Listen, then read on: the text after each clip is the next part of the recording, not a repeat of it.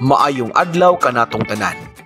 Ang Parent Teacher Association sa Mabunaw National High School magpatigayon ug asembliya aron paghisgutan ang posibleng pag-implementar sa progressive face-to-face classes.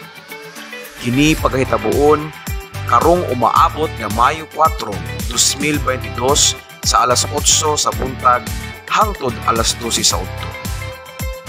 Sa pagpahitabo sa maong kalihukan, kami nagaauhag sa tanang mutambong na mga ginikanan o guardian na hugot na iobserbara ang mga health safety protocols aron malikay kita sa pagkuyanap sa COVID-19 infections. Daghang salamat ug sa kanunay ang Ginoo magapanalangin kanatong tanan.